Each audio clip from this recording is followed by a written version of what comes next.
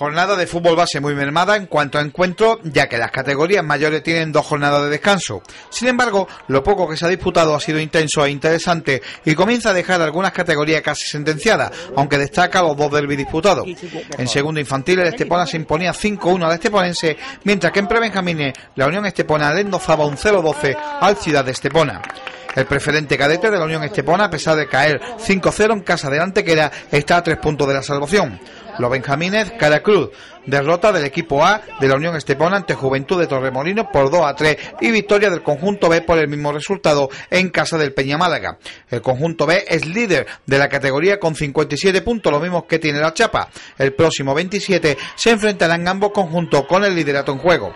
Además, el segundo Benjamín B de la Unión Estepona se hacía con el triunfo en el torneo a beneficio de Aspandén disputado en Marbella.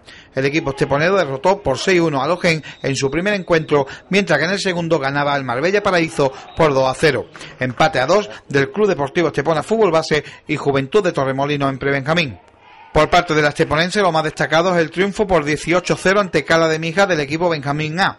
Y es que con esta victoria los esteponeros están a tan solo un punto de proclamarse matemáticamente campeón.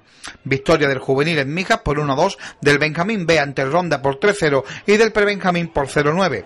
El equipo Benjamín es segundo con 54 puntos por los 60 que tiene la Laguna. En tercera posición está la Unión Estepona con 51. Empate a 1 del cadete en casa del Conejitos. El equipo infantil de Ciudad Estepona caía en casa ante la Unión Deportiva Ronda por 0-4.